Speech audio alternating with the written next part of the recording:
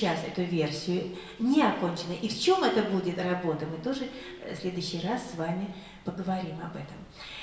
Я хочу э, пригласить на сцену солиста оркестра прекрасного, очень интересного коллектива сейчас, театра «Новая опера» под руководством Евгения Колова. Вы наверняка слышали об этом театре. Это один из самых интересных сейчас, на мой взгляд, коллективов. Солист оркестра Борис Сокол. Пожалуйста.